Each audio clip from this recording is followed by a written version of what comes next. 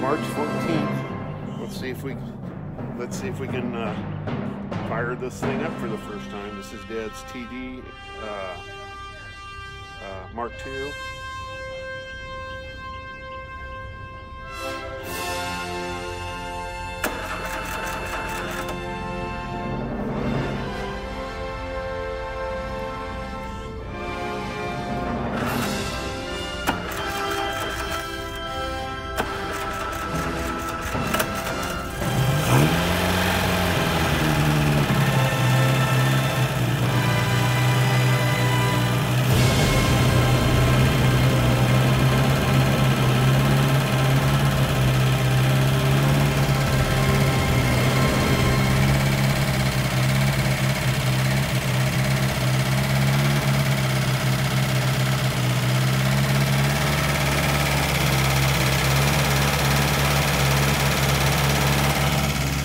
Very cool.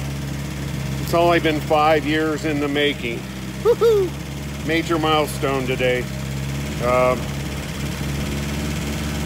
just got to break in the camshaft, set the idle down, put the air cleaners back on it, and then this thing is ready to go to the alignment shop and get ready for its debut. Cool. Have a good day.